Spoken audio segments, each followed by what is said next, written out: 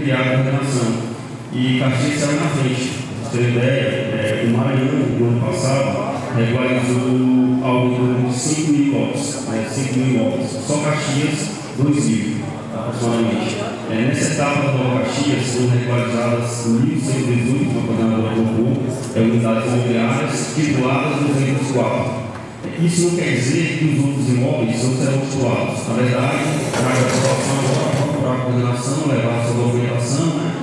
para poder ser expedido o título definitivo de propriedade e aí sim levar o cartório para os registrados.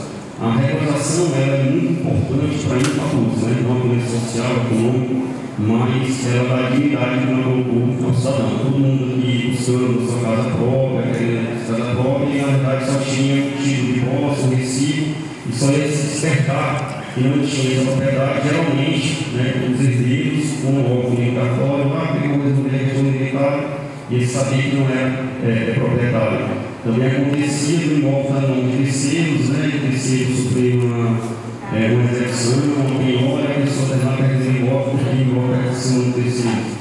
Também, então, a regularização traz essa, é, essa segurança aos beneficiários, que eles são realmente proprietários do imóvel, certo? Então, muito obrigado, uma satisfação participar, estou à disposição.